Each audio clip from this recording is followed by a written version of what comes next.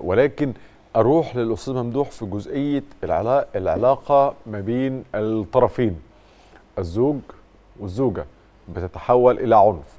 طيب في أشكال كتير من العنف مش شرط يكون جسدي صحيح. زي العنف اللفظي صحيح. مثلا.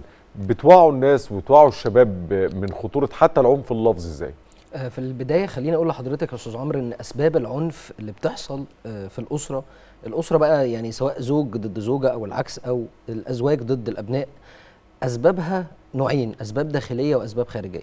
إن الزوج أو الزوجة دول تم ممارسة ضدهم عنف مثلا في الأسرة وهم صغيرين فأصبحوا من معنفين لمعنفين. على على العنف. دايرة عنف ويمكن ده بيجاوب على سؤال الأثر الطويل للعنف في المستقبل. زي ما حضرتك بتقول إن العنف ليه أشكال وليه صور مختلفة. بنقول للشباب والبنات المقبلين على الزواج من المخطوبين إن خدوا بالكم يا جماعة العنف هم للأسف الصورة الذهنية عنه هو الضرب أو السب والقذف. في أشكال كتير مختلفة منها مثلا العنف المعنوي التهديد في وقت من الأوقات إن أنا بهدد الطرف الثاني إن لو ما عملتش كذا فأنا هنفصل عنك أو كده.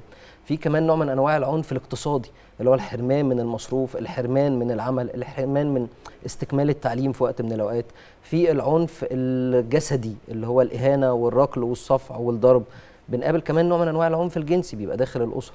فإحنا عندنا صور كتير جدا وأشكال كتير جدا ويمكن أبرزها بتبقى العنف النفسي. العنف النفسي اللي هو بعض الألعاب النفسية اللي بيمارسها طرف تجاه طرف آخر. زي مثلا في وقت من الأوقات عدم الاهتمام نوع من أنواع العنف.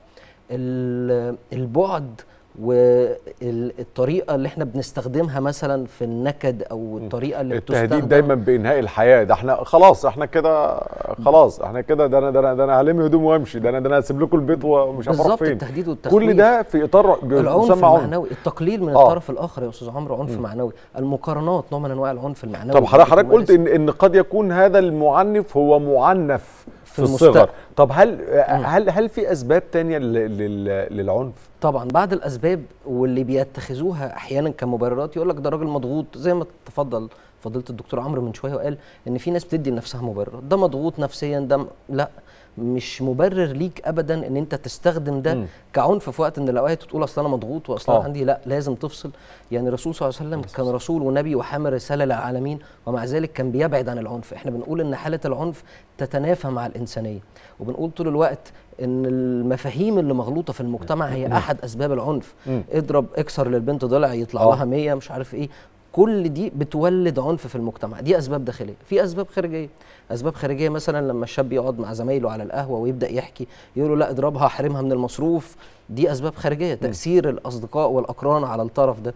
في كمان الدراما أو ال- اللي بيشوفه في ال social طبعاً، ميديا. طبعاً. دوائر العنف اللي بقت موجودة في المجتمع. الولد اللي ذبح أخوه لأن شافه في, في, في, في مسلسل ولا في, في كرتون واحد بيذبح واحد. بالظبط. أطفال ست وسبعة وعشر كل سنين دي دوائر عنف وبتبدأ من الصغر فعلا وبالتالي بنقول للآباء في وقت التربية الإيجابية راقبوا الحاجات اللي أولادكم بيتفرجوا عليها وبيشاهدوها.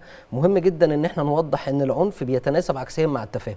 فكل ما قل التفاهم كل ما زاد العنف في الأسرة. طبعا. العنف بداية إن مفيش لغة حوار أكيد. أساسا.